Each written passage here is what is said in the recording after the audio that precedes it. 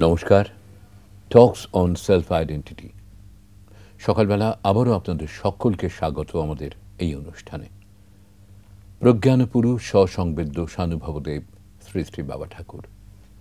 তার নির্দেশিত পথ, যে পথের সন্ধান তিনি পেয়েছিলেন তার উপলব্ধি থেকে, তার সাধনালব্ধ সেই পথ তিনি রেখে গেছেন আমাদের জন্যে, যা ছড়িয়ে রয়েছে তার অজস্র প্রবচনের মধ্যে। অজস্র উদ্গীত ভজনের মধ্যে। তার সেই সমস্ত উক্তি সংকলিত হয়েছে অগণিত বইয়ের মধ্যে, যেগুলো থেকে আমরা প্রাণ সংগ্রহ করি, রসদ সংগ্রহ করি, সুস্থ, সুন্দরভাবে এই জীবনে বাঁচার। এই জীবনের মানুষ হিসেবে জন্মানোর একটা সার্থকতা খুঁজে পাওয়ার। সকালবেলা আমাদের এই খানিকটা সময় আপনাদের সকলকে নিয়ে কাটাই, আর আমাদের সঙ্গে তুষার থাকেন তুষার ভট্টাচার্য। মনের মধ্যে যখনই কোনো প্রশ্ন আসে, অকপটে তুষারকে জিজ্ঞেস করতে পারি। আর খুব সুন্দর করে আমাদের সেগুলো বুঝিয়ে বলে দেয়। বাবা ঠাকুরের একটি প্রবচন দিয়ে আমরা সচরাচর শুরু করি। আমাদের দিনের কাজ। আজও তার ব্যতিক্রম নয়। আসুন আমরা শুনি বাবা ঠাকুরের প্রবচন, শুনি কি তিনি বলছেন। আমাদের মধ্যে দুইটা আমি আছে। একটা আমি কর্তৃত্ব ভক্তিত্ব নিয়ে দেশ সঙ্গে জড়িয়ে আছে। তারই যত মান, অভিমান দম্ভ দর্প গর্ব দুঃখ, কষ্ট, ভাবনা, চিন্তা সব। আর একটা বসে শুধু দেখছে আনটাস্ট এক, তার কিছুই স্পর্শ করছে না। কিন্তু কি আশ্চর্য, আসল আমিটার পরিচয়টা এই নকল আমি কিছুতেই পেতে দিচ্ছে না। অহংকার মানুষকে তার আত্মস্বরূপের পরিচয় দিচ্ছে না। কত রকমে তাকে ঘুরিয়ে ফিরে ওই নামরূপের মধ্যে জুড়ে রেখেছে। এইটি হচ্ছে প্রকৃতির কাজ। প্রকৃতি এই কাজগুলো করছে, আর সেই প্রকৃতি জাত অহংকার, আমি আমি, আমার আমার দিয়ে ধার করা আমিকে ব্যবহার করছে আর ডিগবাজি খাচ্ছে। যেই আমি কর্তাই হতে পারে না, সেই আমি কর্তা সেজে বাহাদুরি করতে গিয়ে ডিগবাজি খাচ্ছে। সে যে কী করে, সে নিজেও ভুলে যায়। নিজের কুকর্মের কথা সে মনে রাখে না। যখন কুকর্মের ফল ভোগ করতে হয়, তখন সে খেপে যায়। তার মানে দাঁড়াল যে অহংকারটাই আমাদের সবচেয়ে বড় অন্তরায়।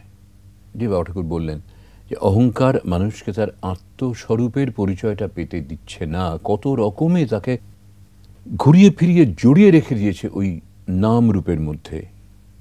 এবং এটা কার কাজ? প্রকৃতির কাজ। প্রকৃতি এই কাজগুলো করছে তাহলে কি ভাববো যে প্রকৃতির কাজই হচ্ছে আমাদেরকে ওই বন্ধনের মধ্যে আবদ্ধ করে রাখা? বাবা ঠাকুরের মুখে শুনেছি প্রকৃতি মাতার উদ্দেশ্য নয় আমাদের বন্ধনের মধ্যে রাখার। প্রকৃতি হলো মাতা। মা কি কখনো চায় তার সন্তানদের বন্ধনের মধ্যে রাখার? এটা খুব সুন্দর বললে কিন্তু ব্যাপারটা কি সেই রকমই অ্যাপারেন্টলি দেখে মনে হচ্ছে না? আমরা নিজেদের দোষেই নিজেরা বন্ধনের মধ্যে পড়ি। ওই যে সাধক গিয়েছেন না? দোষ কারও নয় গো মা, আমি সখাত সলিলে ডুবে মরি শ্যামা চমৎকার একটি শ্যামা সংগীত। দোষ কারও নয় গো মা, দোষ কারও নয় গো মা। আমি সখাত সলিলে ডুবে মরি শ্যামা দোষ কারও নয় গো মা। প্রতিবার যখনই কোনো ভুল কাজ করি, কাউকে দোষ দেওয়ার আগে কিন্তু সত্যি মনে হয় আরে আরেকটু আগে যদি সতর্ক থাকতাম বাবা ঠাকুরের নিজের কণ্ঠের একটা গান শুনি। গানটা শুনি আমরা।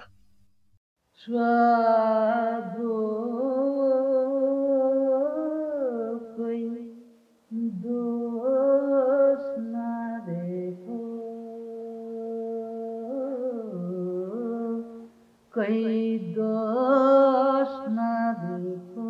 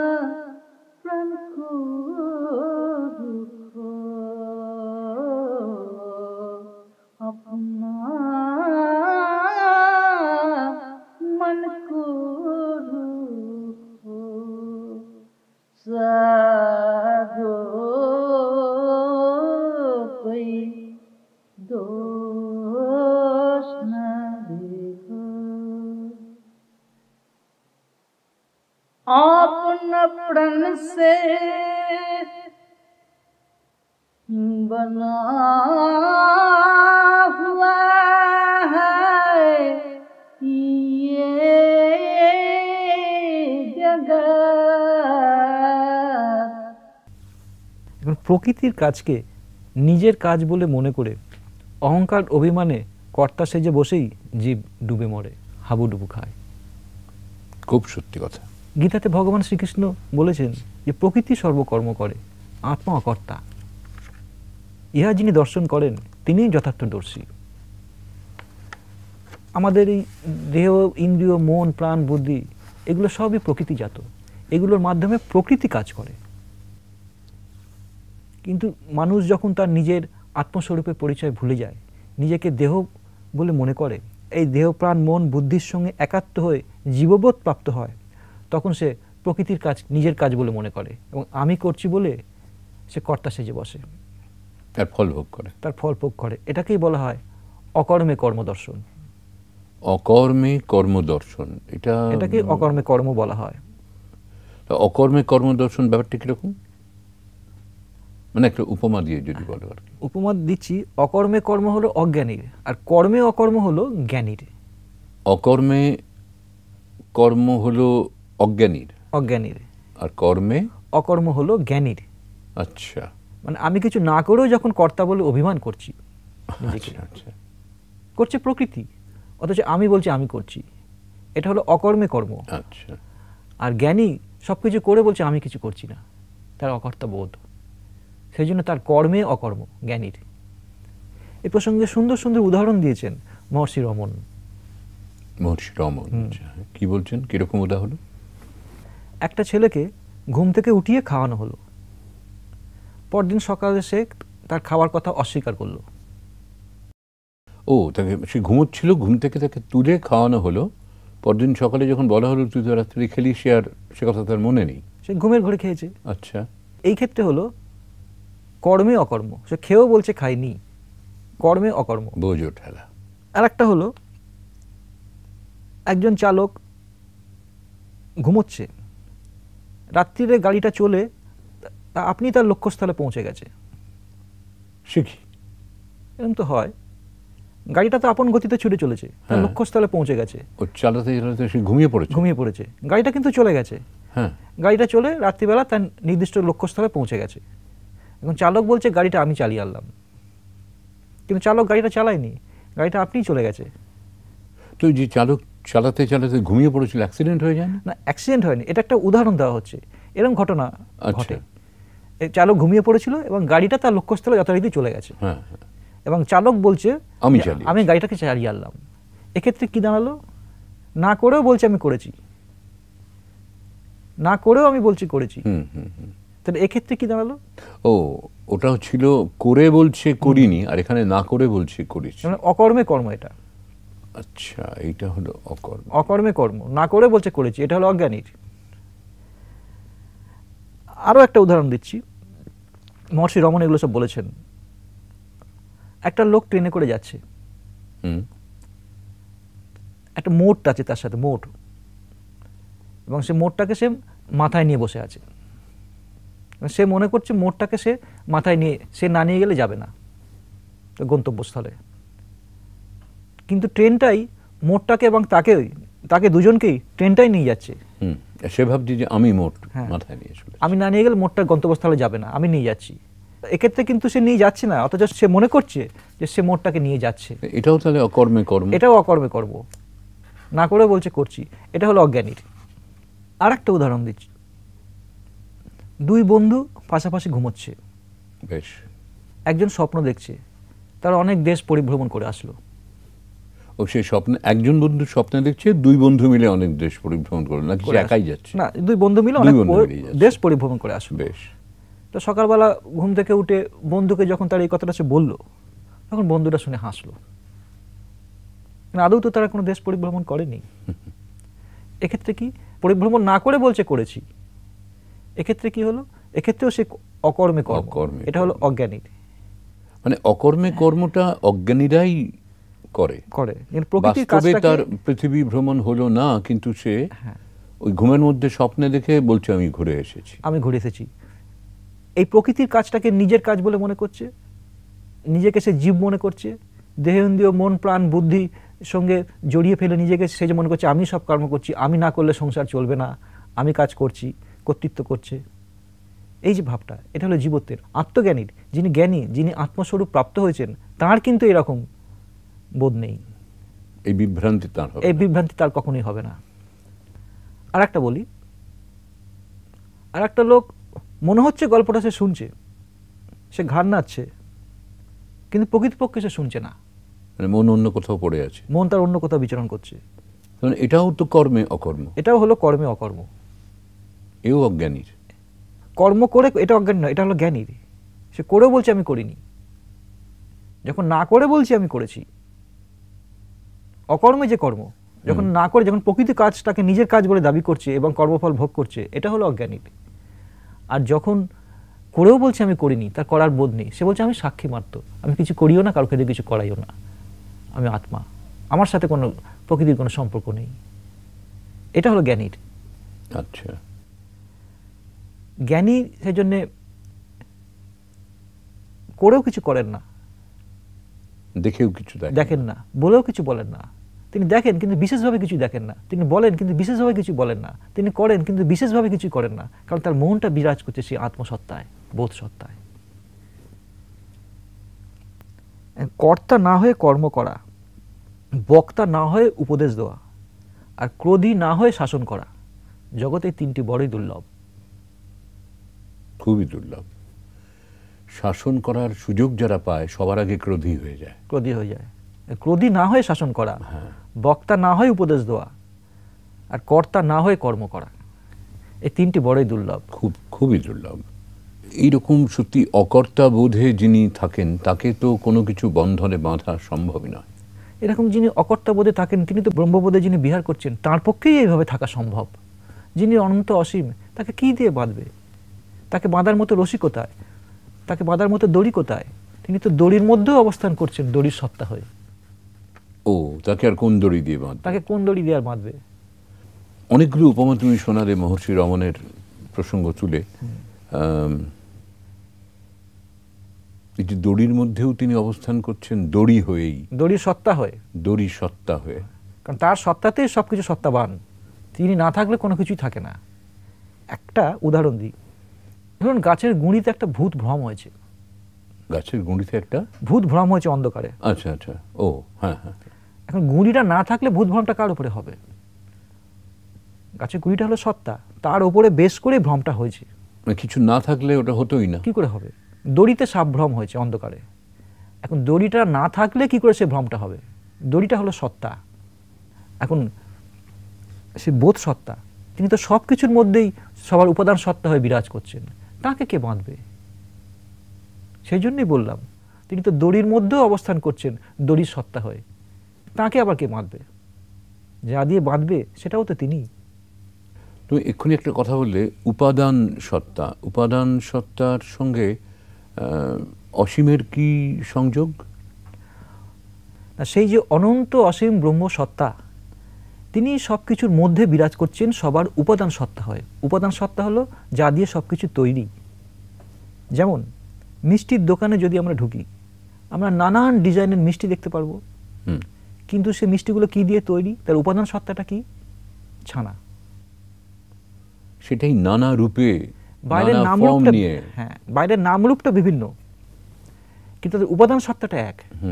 যদি আমরা সোনার দোকানে ঢুকি নানান ডিজাইনের আমরা সোনার গয়না দেখতে পারব। নানান ডিজাইনের গয়নাগুলো তৈরি কি দিয়ে? ওই একটাই বস্তু সোনা। একটাই বস্তু সোনা। এটা হলো তার উপাদান সত্তা।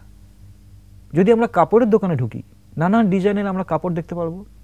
কিন্তু তার উপাদান সত্তা কি? এক সে সুতো। এক সুতো দিয়ে সব কিছু তৈরি। ডিজাইনগুলো শুধু বাইরে আলাদা। হ্যাঁ হ্যাঁ কত অজস্র ডিজাইন তৈরি করে দিয়েছে তারা। যদি আমরা যেখানে মূর্তি তৈরি হয় মাটির মূর্তি তৈরি হয় যেখানে যদি আমরা সেখানে ঢুকি আমরা নানান ডিজাইনের মূর্তি দেখতে পারব। কিন্তু সেখানে মূল উপাদান হয়ে যাচ্ছে মাটি। মূল উপাদান হয়ে যাচ্ছে মাটি। হয়তো মাটির সঙ্গে আরও কিছু মিশে আছে কিন্তু। বেসিক ব্যাপারটা মাটি। ব্যাপারটা হলো মাটি। মাটি দিয়েই তৈরি। এই দুটো ডিজাইন এই দুটো ডিজাইন একটা ডিজাইনের সঙ্গে একটা ডিজাইনের শুধু বাইরের রূপের নামের পার্থক্য। রূপ প্রত্যেকটা রূপের একটা আলাদা করে নাম দেওয়া হয়। তো রূপ নামের পার্থক্য। কিন্তু উপাদান সত্তাটা এক। সেই দিক দিয়ে সবার মধ্যে সে এক আত্মসত্তা বিরাজ করছে। সবার মধ্যে। কারোর সাথে কারোর কোনো ভেদ নেই। একটা নানান রঙের ফুল দিয়ে একটা মালা গাঁথা হয়েছে। কিন্তু প্রত্যেকটা ফুলের সাথে প্রত্যেকটা ফুলের যোগসূত্র কোথায়? এক সুতো দিয়ে সব কটাকে গাঁথা হয়েছে। এক সুতো সবার মধ্যে রয়েছে। আচ্ছা ফুলগুলো যদিও নানা জাতের ফুল নানা রঙের ফুল আলাদা আলাদা। কিন্তু উপাদান সত্তাটা সবার এক। উপাদান সত্তা বলতে সবার সাথে যোগসূত্রটা কোথায়? ওই সুতোটা। ওই সুতো। বাবা ঠাকুরের একটা গান আছে ঈশ্বর আছেন যুক্ত সবার অন্তরে। সমভাবে স্বয়ং বিশ্বভুবন জুড়ে। হ্যাঁ, এটা তো? হ্যাঁ, এই গানটা। হ্যাঁ। এই গানটা আমার মনে হয় সানুভব সুধায় হ্যাঁ, আছে। খুব সুন্দর কথাগুলো একটু পড়ি গানটা। অবশ্যই। ঈশ্বর আছেন যুক্ত সবার অন্তরে সমভাবে স্বয়ং বিশ্বভুবন জুড়ে।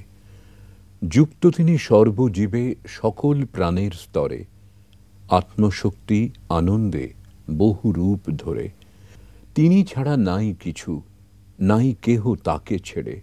নিত্য যোগে মেতে আছেন স্বভাব লীলাতরে। আছেন তিনি আকাশে বাতাসে, অনলে জলে স্থলে, নিরসে সরসে। আছেন সূক্ষ্মে স্থূলে, বৃক্ষলতায় ফুলে ফলে। কীট পতঙ্গ বিহগের মধুর বলে। জীবনের সুখ দুঃখ সবই প্রকাশ তাঁর। নরবেশে এসে করেন তিনি লীলা বিহার অনুপরমাণুতে আছেন তিনি অস্থিরূপে, প্রাণের স্তরে আছেন মিশে প্রীতিরূপে। বোধের ঘরে স্বয়ং প্রকাশ, তিনি ভাতিময়। সচ্চিদানন্দ স্বরূপে তিনি শুদ্ধ প্রেমময়। স্বভাবে তার সৃষ্টি স্থিতি লয় হয় বারে বারে। পুনঃ আপন সত্তায় মিশে যায়। এক করে। এই গানটা পড়তে পড়তে মানে প্রথম দুটো লাইনের মধ্যেই বিশ্বভ্রমণের কথা আছে, খুব কাছাকাছি একটা রবীন্দ্রসঙ্গীত আছে কিন্তু। ওই যে বিশ্ব সাথে যোগে যেথায় বিহারও সেইখানে যোগ তোমার সাথে আমারও মনে আছে গানটা? ওইখানে একটা লাইন আপনি বললেন না মাঝখানে, তিনি কোথায়, ওই, তিনি অনলে, অনিলে সব জায়গায় আছে, ওই যে কথাটা একটুখানি ওই জায়গাটা পড়ুন। হ্যাঁ আছেন তিনি আকাশে বাতাসে অনলে জলে স্থলে নিরসে সরসে। বাবা ঠাকুর একটা কথা ভাষণের মধ্যে প্রায়শই বলতেন যে কাহা নাই কাহা নাই প্রাণ কানহাই? আর একবার বলো কি সুন্দর বললে? কাহা নাই কাহা নাই প্রাণ কানহাই? আচ্ছা। মানে কোথায় তিনি নেই? কোথায় তিনি নেই? সর্বত্র তিনি আছেন। সর্বত্র। সর্বত্র সে মা বিরাজ করছেন সচ্চিদানন্দময়ী মা। এই প্রসঙ্গে বাবা ঠাকুরের দু একটা কথা একটুখানি পড়ুন আপনি। এই প্রসঙ্গেরই কথা? হ্যাঁ। বলছেন জগদ্ধাত্রী মা আমার সমস্ত জলরাশি মা আমার অগ্নিরূপে তেজ রূপে মা আমার বায়ুরূপে মা আমার প্রাণ মহাপ্রাণ। বাসুদেব তার একটি বিভূতি মাত্র আর বোম মহাকাশ রূপে মা আপন বক্ষ ছড়িয়ে রেখে দিয়েছেন। তার মধ্যে সমস্ত সৃষ্টি স্থূল, সূক্ষ্ম, কারণ সব বিরাজ করছে। সব দেব, দেবী, কিন্নর, গন্ধর্ব, মানুষ, কীট, পতঙ্গ, পশু, পাখি, যা কিছু এনি অবজেক্ট অফ ক্রিয়েশন সব। নক্ষত্রের জ্যোতি, তারা সন্তান মায়ের। সব কিছুকে বুকে ধারণ করে আপন মহিমা আপনি প্রকাশ করে চলেছেন। এই মায়ের কোনো তুলনা নেই। এই মায়ের তুলনা কোথাও নেই। একা মাই তো সব হয়ে থাকেন। অর্থাৎ মায়ের মধ্যে মা মায়ের মা মা হতে মা মায়ের জন্য মা মায়ের দ্বারা মা মাকে মা মায়ের সহিত মা মা ছাড়া মা মায়ের ঊর্ধ্বে মা। এই মায়ের নবভাবকেই নবদুর্গা বলা হয়। অর্থাৎ মা নববেশে মানব। অপূর্বভাবে কথা খুব সুন্দর। মা নববেশে মানব। দেখুন, একটা বিষয় নিয়ে আমরা কথা বলতে আরম্ভ করে প্রসঙ্গান্তর বলব না, কিন্তু কথায় কথায় কত কি পেলাম এবং এই যে নতুন নতুন ভাবনাগুলো, নতুন নতুন ভাবধারাগুলো, যেগুলো বাবা ঠাকুর তার নিজস্ব একেবারে স্বতন্ত্র ভাবনার মধ্যে দিয়ে প্রকাশ করেছেন, তার সঙ্গে তো আমরা একটু পরিচিত হওয়ার সুযোগ পেলাম। সময় কিন্তু আজকের একেবারে নেই। আজকের মতো আমরা এখানেই শেষ করছি। আবারও আপনাদের সকলকে নিয়ে আমরা বসবো সামনের সপ্তাহে। নিশ্চয়ই আমাদের সঙ্গে তুষারও থাকবে। ভালো থাকবেন সবাই। আবার দেখা হচ্ছে সামনের সপ্তাহে। টক্স অন সেলফ আইডেন্টিটিতে নমস্কার।